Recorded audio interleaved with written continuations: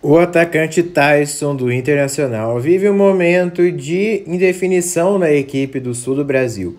Com contrato até o meio de 2023, o jogador já pode assinar um pré-contrato de graça com qualquer equipe. E já teria ouvido os boatos de que não se teria o contrato renovado. Daí, o lance já colocou o jogador na mira do Corinthians. Mas será que vale a pena contar com Tyson? Será que as últimas temporadas dele na equipe do Internacional têm sido boa?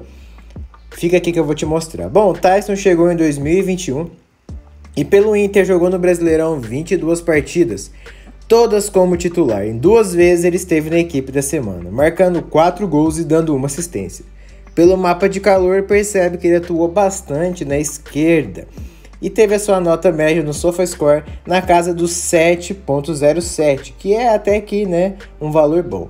Em 2022, ele passou, alternou aí uns períodos sem ser titular, mas conseguiu atuar por 20 partidas no Brasileirão, apenas 5 como titular, uma média de 37 minutos por jogo. Marcou um gol e deu uma assistência. O mapa de calor dele aí em 2022 foi bem abaixo do que a gente viu em 2021, né? O Tyson também passou por alguns problemas aí complicados em 2022 que deixou ele de fora de alguns jogos do Internacional. E bom, uma das coisas que mais se falou sobre ele aí foi os problemas físicos.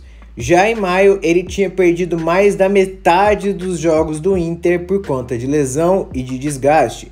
Já no meio de 2023, em julho, já no meio de 2022, ele teve uma nova lesão com mais de 4, 5 semanas, ou seja, é um jogador de 34 anos de idade que vai completar 35, que tem um histórico recente de lesões. E se a gente olhar no Corinthians, que tem esse histórico com o Renato Augusto, o Michael, que apesar de jovem tem se machucado bastante, será que vale, valeria mesmo a pena investir no Tyson? Eu acho que não, mas comentei.